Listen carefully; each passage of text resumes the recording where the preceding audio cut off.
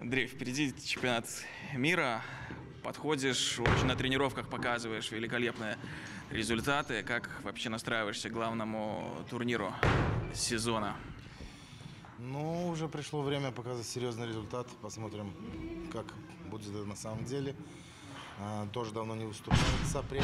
Так что надеемся на медали в этот раз. Потому что если э, ставить задачу себе выезд на Олимпийские игры, то нужно уже становиться медалистом или поднимать очень хороший результат. После чемпионата Европы легче физически и морально, потому что на Америка после твоего возвращения ты медали не попал, на Европе был очень близок даже к победе. Сейчас как себя чувствуешь?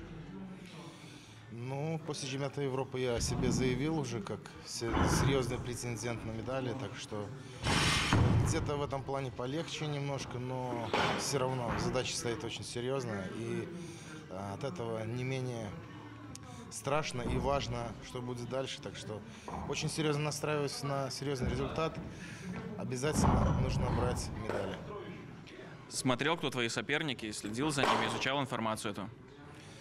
Да, мы постоянно следим друг за другом в соцсетях, так что, в принципе, э, предполагаем, что на кто, кто на что способен, так что, в принципе, ничего нового никто не поднимает. Я немножечко добавил. Посмотрим, что в, в итоге получится на помосте. За счет чего тебе удалось так вот прибавить и сейчас на тренировках э, показывать такие хорошие килограммы? Ну, на данный момент я не так уж и много прибавил, но, в принципе, есть прогресс. Так что это все-таки подготовка к Олимпийским играм, она длительная. Чтобы выйти на мировые рекорды, нужно большое количество лет. Или, конечно, мне проще все-таки. Я восстанавливаю свой результат, а не на- набираю заново. То есть не набираю заново, а лучше прогрессирую в плюс в новый результат. Так что мне проще, что я восстанавливаю результат, от этого немножко быстрее идет. Если бы это было набирание нового результата, то это было бы намного дольше и сложнее.